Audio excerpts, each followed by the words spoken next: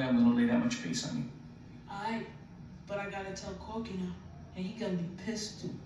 You're just a baby running fresh. I ain't done business with Corky in over three months. Why didn't he send one of his other boys, Daryl or Jake?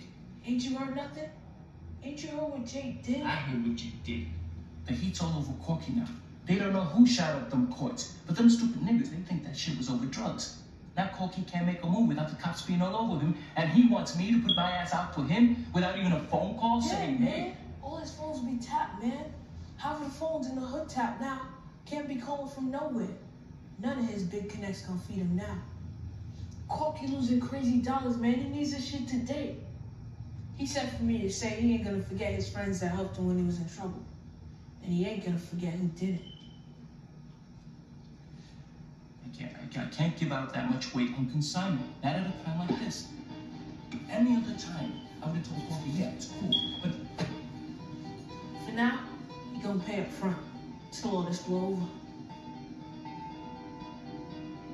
how do I know you ain't gonna bring the heat down on me? All right. You go wait on 11th and Jane. It'll be there in an hour.